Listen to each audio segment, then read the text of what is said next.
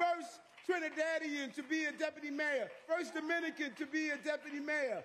First African American to be the first deputy mayor. First, second African American to be the chief of staff. Why? The first one was by David Dinkins.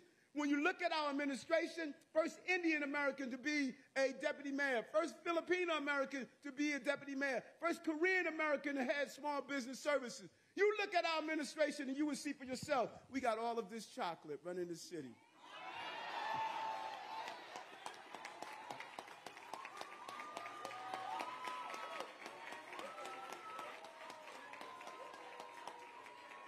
And you're trying to figure out why they're hating on me?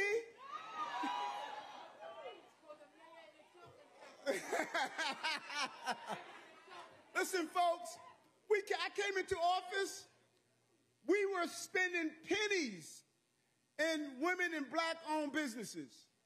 We're now spending